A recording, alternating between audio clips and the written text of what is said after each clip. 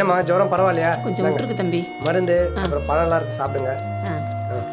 இந்த வயசுலயும் உங்களுக்கு fair and lovely இல்லாம இருக்க முடியல அக்காவை கிண்டல் பண்றியப்பா. அக்காவா? பத்தெல்லாம் திரும்ப போயிட்டு டி பிளாக் ஐயா இந்தாங்க. நீங்க கேட்டதெல்லாம் இருக்கா செக் பண்ணிக்கோங்க நல்லது தம்பி. வலிக்குதா? சிஸ்டர் வாங்க ராஜா. உங்களுக்காக தான் வெயிட்டிங் கர்த்தர் எப்போ உங்க கூடயே என்ன கால் பண்ணி அர்ஜென்ட்டாக கூப்பிட்டீங்க? இன்ட்ரெஸ்டிங் சொல்றேன் வாங்க. இதோ இந்த பாட்டி பத்தி சொல்றதுக்கு தான் உங்களை வர சொன்னேன். பஸ் ஸ்டாண்ட் பக்கத்துல ஒரு சிவன் கோவில் இருக்குல்ல அங்க இருந்து தான் கூட்டிட்டு வந்து விட்டுட்டு போனாங்க. அந்த கோவில் மண்டபத்துல தான் ரெண்டு மூணு நாளா தங்கி இருந்திருக்காங்க. நேத்து மதியம் கூட மண்டபத்துல விளையாடிட்டு இருந்த குழந்தைங்க கிட்ட போய் கதை சொல்கிறேன் வரீங்களான்னு கூப்பிட்டுருக்காங்க. குழந்தைங்களும் ஆர்வமா பாட்டி பின்னாடி போயிருக்காங்க. இதை பார்த்து அங்க இருந்தவங்க எல்லாம் சந்தேகப்பட்டு இந்த பாட்டியை பிடிச்சி யார் நீங்க? உங்க வீடு எங்க இருக்குன்னு விசாரிச்சிருக்காங்க. பாட்டி எதுக்குமே பதில் சொல்லலாம் சரி போலீஸ்க்கு சொல்லிடலாம்னு யோசிச்சுட்டு இருக்கும்போது மண்டபத்தோட மேல்கூரை இடிஞ்சு விழுந்துருச்சு. எல்லாரும் உறைஞ்சு போயிட்டாங்களாம்.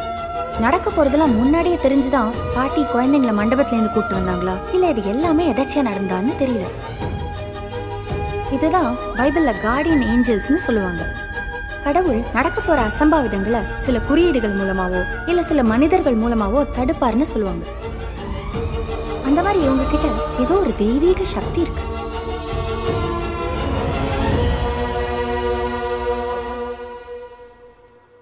பாட்டி? எந்த ஊர் பாட்டி நீங்க?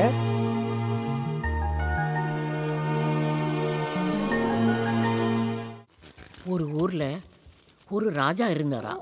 அவருக்கு குழந்தை யாருமே இல்ல. யாரு கதை சொல்லுது? அந்த ஊருக்கு நான் இங்க வேற இவ்வளோ விடுது என்ன பாட்டி?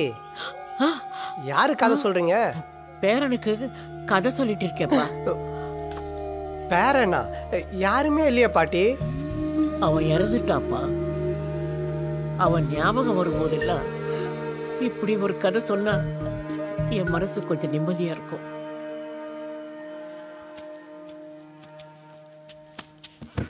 என்னை பார்த்தவங்க எல்லாம் பைத்தியம்னு நினைக்கிறாங்க.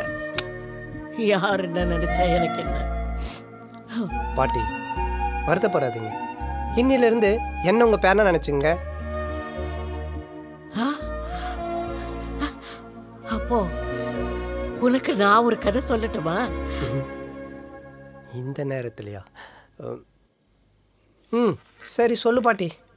உஜ்ஜயினி மகாபட்டணத்துல அஸ்தினாபுரம்னு ஒரு ஊர் இருந்துச்சாம் நிலவளம் நீர்வளம். இப்படி எல்லா வளமும் நிறைஞ்ச செல்வ செழிப்பான நாடகம். அந்த நாட்டுல ஒரு ராஜா இருந்தான். உன்ன மாதிரி ஆ.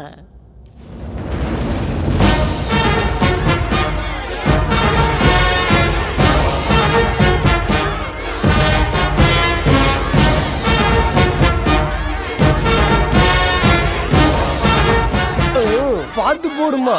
பூ கண்ணில் விடுதில்ல ராஜான்னு சொன்ன உடனே நீ ரொம்ப பெருசா ஒன்றும் கற்பனை பண்ணிக்காத. அவனுக்கு வரவேற்பும் மேளதாளமும் கிடையாது. சிப்பாயிங்க கிடையாது. அவனுங்க ஒரு பல்லக்கு கூட